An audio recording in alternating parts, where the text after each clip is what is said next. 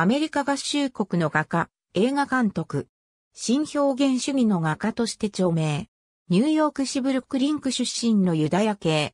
ヒューストン大学で学んだが、アーティストとしてはなかなか芽が出なかった。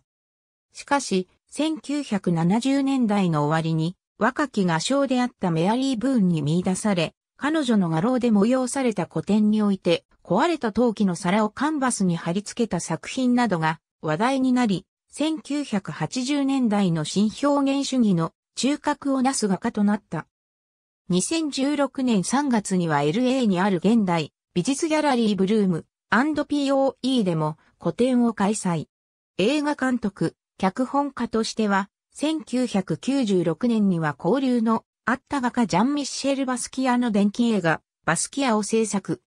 2002年の夜になる前に、で、ベネツィア国際映画祭の審査員グランプリを、2007年の潜水服は、蝶の夢を見るで、第60回カンネ国際映画祭監督賞、及び第65回ゴールデングローブ賞監督賞を受賞した。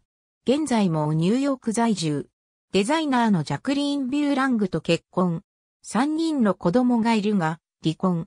その後、スペイン人女優兼モデルのオラッツ、ロペス・ガルメンディアと再婚。